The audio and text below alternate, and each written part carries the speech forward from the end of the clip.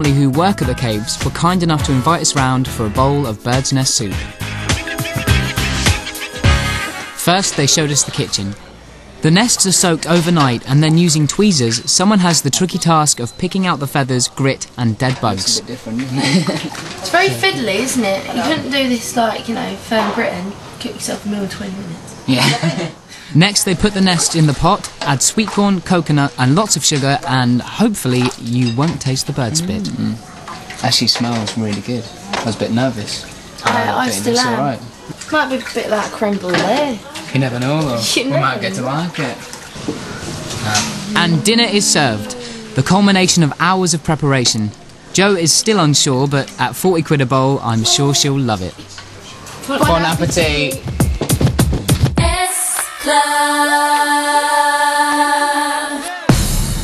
Orangutans feature heavily in the folklore here. We've come to a Kadazan village where the traditional way of life is still preserved.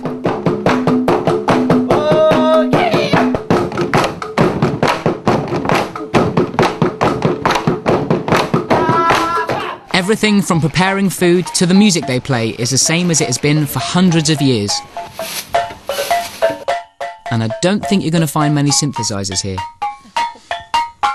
It looks really easy, but if you Yeah, actually it do is it, easy. it's It's really not Because he's got like this little rhythm thing going on. Go, I've got. Go on. I'm not allowed to. She's got rhythm. Yeah.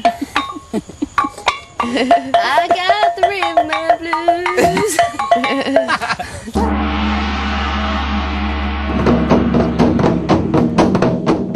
The Kadazan warriors are still able to hunt with a blowpipe. There's things a man's got to do. It's a deadly weapon, this. It's a cocktail stick with a bit of paper attached to the end of it. Oh, I've got a drum roll now and everything, listen.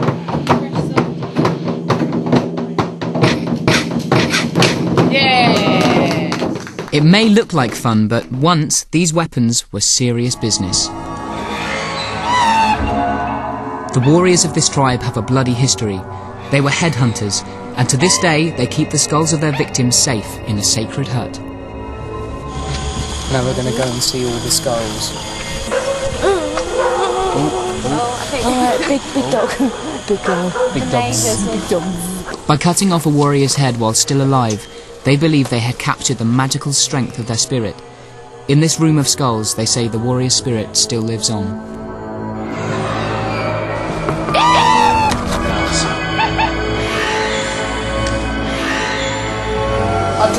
Don't know, I can hear funny noises. It's a car.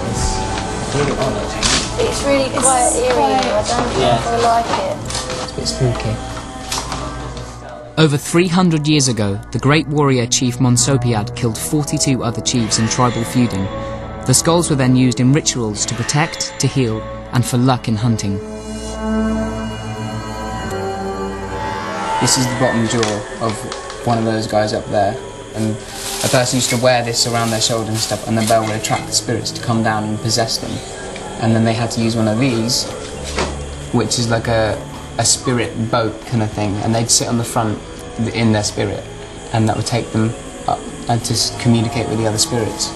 So it's quite, it's weird, you've got to really concentrate and think about it, otherwise you're going to get lost.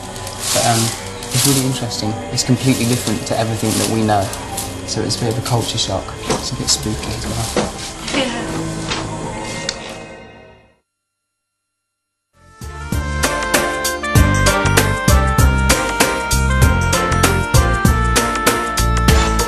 Right, well, I'm off to jungle. Yeah, good luck. Find me orangutan. And, um, what are you what are you gonna do? We're going to go to Turtle Island Right. and check them out. So Well, we'll see you soon. yeah. See you later. Good one. Take care. We'll Be see you. careful. Yeah. Hopefully, I'll see you okay. soon anyway. Alright. Right, take care. Alright then. See you later. As the girls sped off to find turtles, I began the difficult search of finding the orangutan.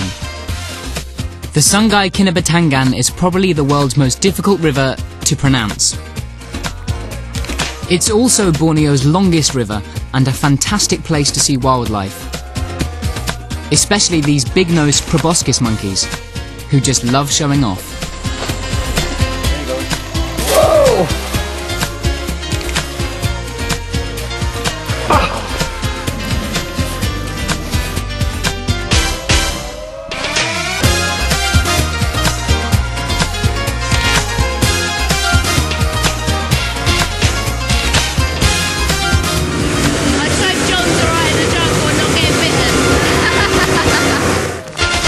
It's raining again.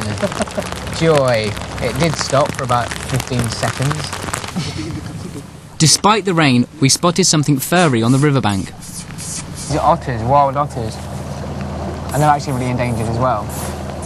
They're pretty cute, but I'm still hoping to find an orangutan. This is amazing.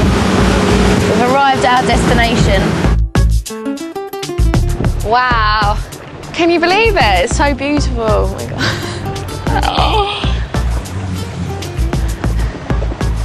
I think we found paradise here. Hello, Jo. Hello, Tina. I hope you're having a nice time on your beach. The weather's great here, as you can see. Absolutely fantastic. I'm getting a great tan and uh, wish you were here.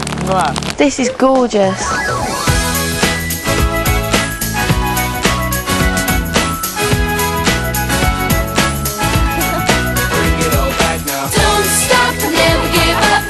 Hold head high and reach the top. Let the world see what you have got. Bring it all back to you.